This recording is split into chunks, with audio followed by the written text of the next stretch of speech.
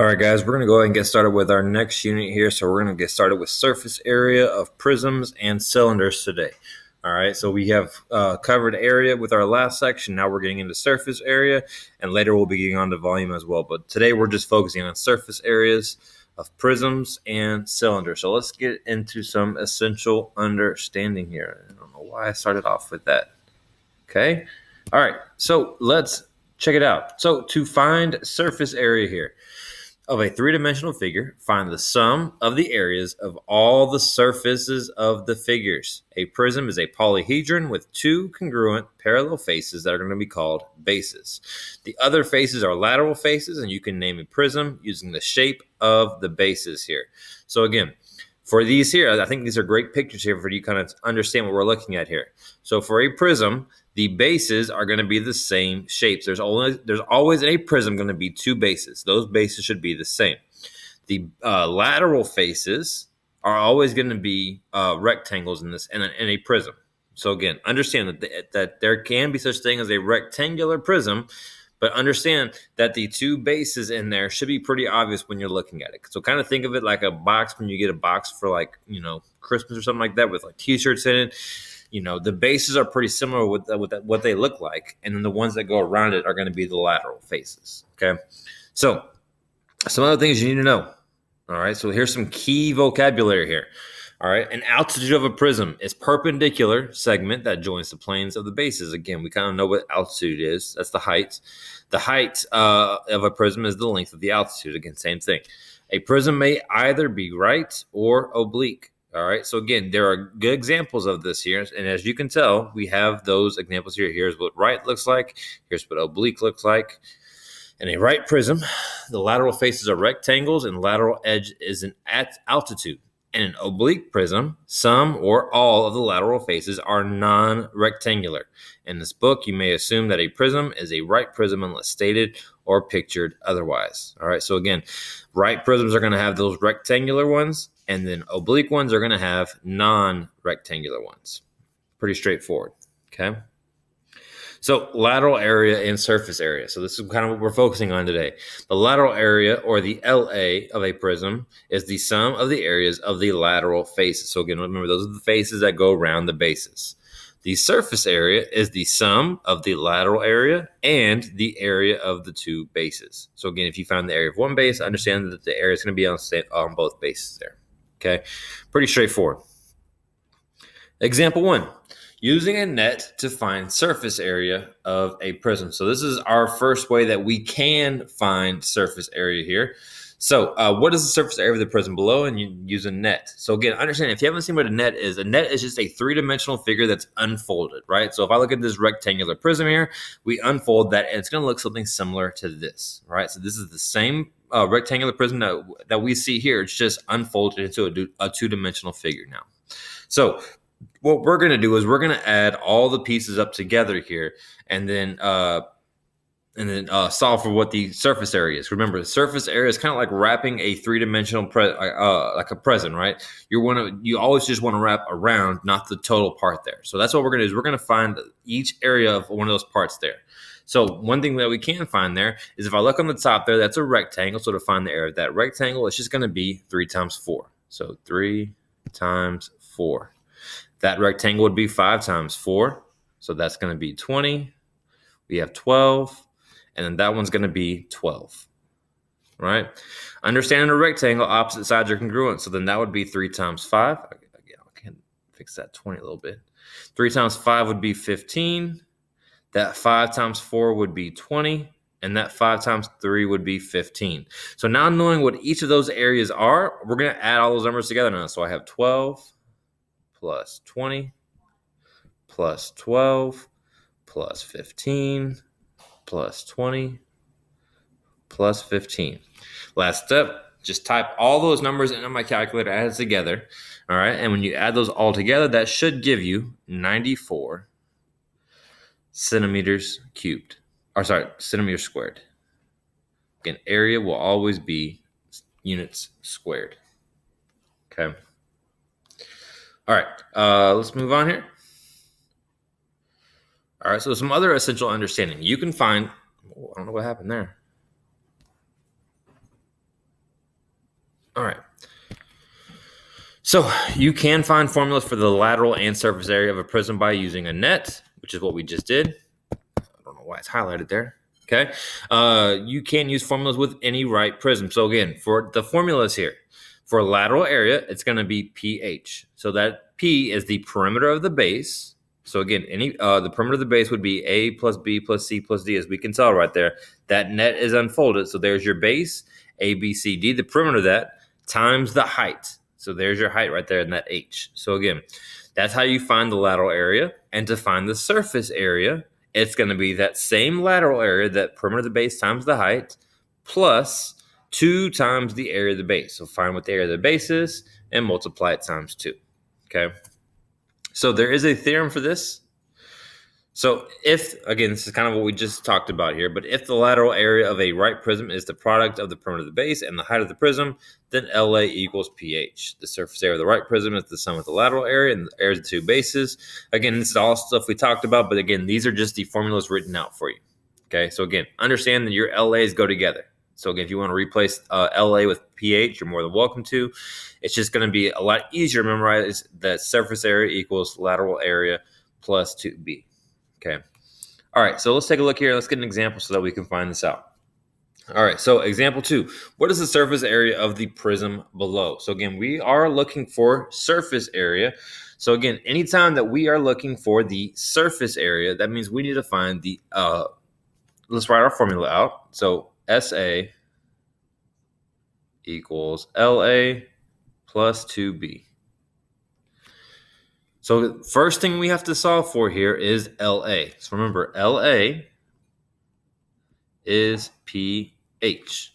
Okay, perimeter of the base times the height. So again, looking at our figure here, first thing you ask yourself is what shape is our base? Is it the rectangle or is it the triangle? Remember, the, there's only two bases that we should have there. So if I look here, the base of this figure should be the triangle. There's only two triangles. There's three rectangles.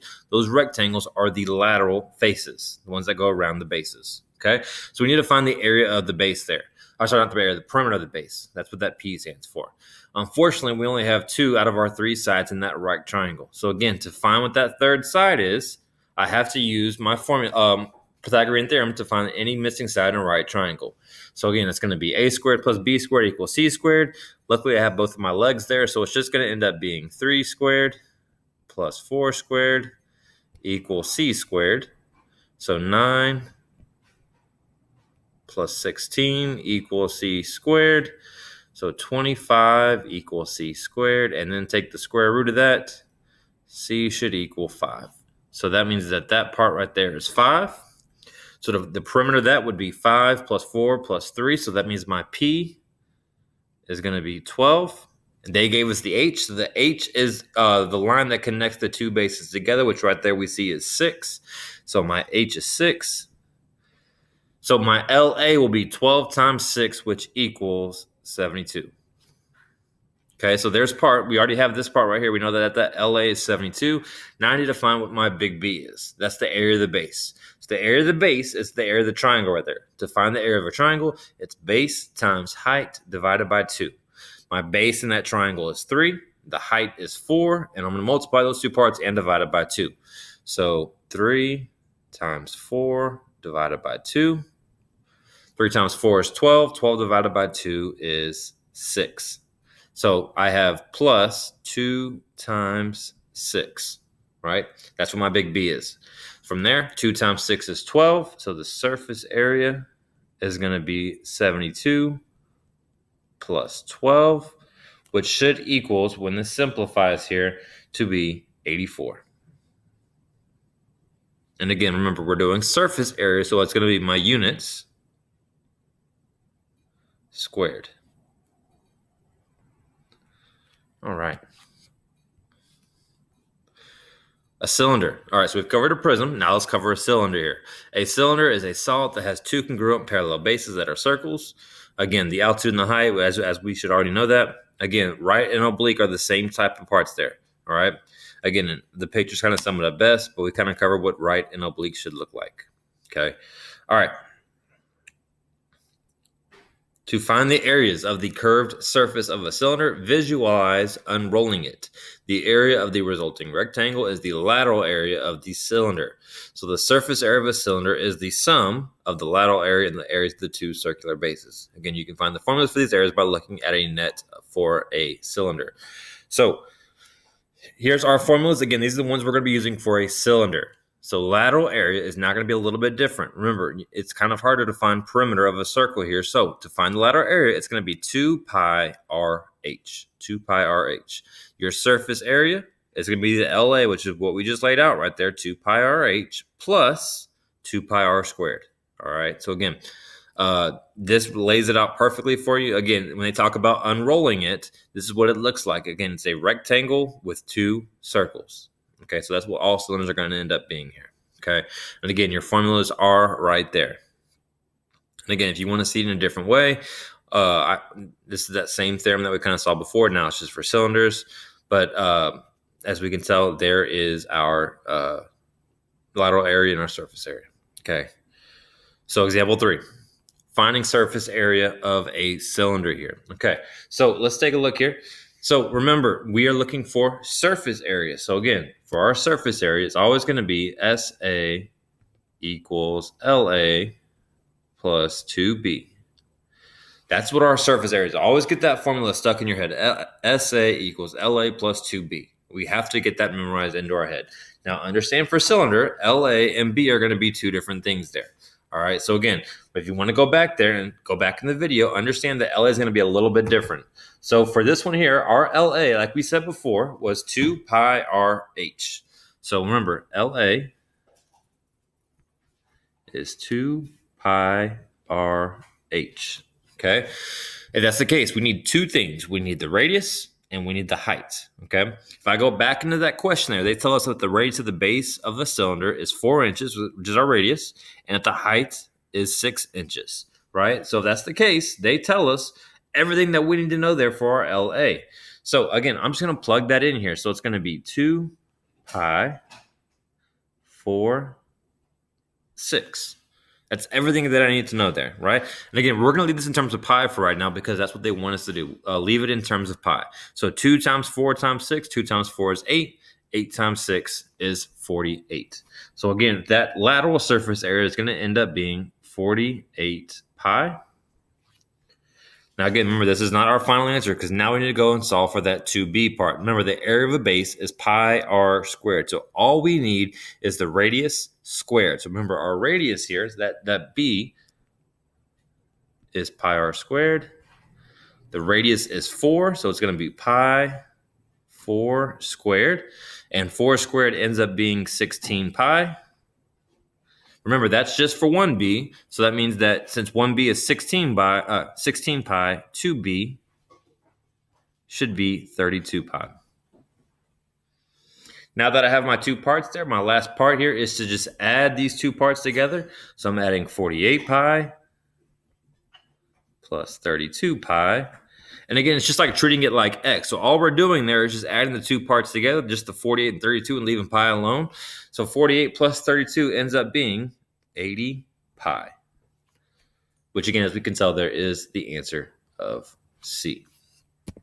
Okay, so uh, that's what we're just learning today, guys. It's just surface area of prisms and cylinders. Again, those formulas are key. So again, if at the very end, make sure you know that uh, your formula for surface area is SA equals LA plus 2B. Because again, that's the general formula for all surface area. Now, lateral surface area and the bases are going to be different for different shapes, but the general form is always going to be SA equals LA plus 2B. All right. So your homework that'll be due on Wednesday at 11:59 p.m. Virtual office hours, as always, will be from one to two. Again, if you have questions, please feel free to get in contact with me. All right, let's get off to a good start here with our next unit, guys. And again, if you need me for anything, just know I'm here for you. You guys stay safe and uh, have a good uh, have a good rest of the day.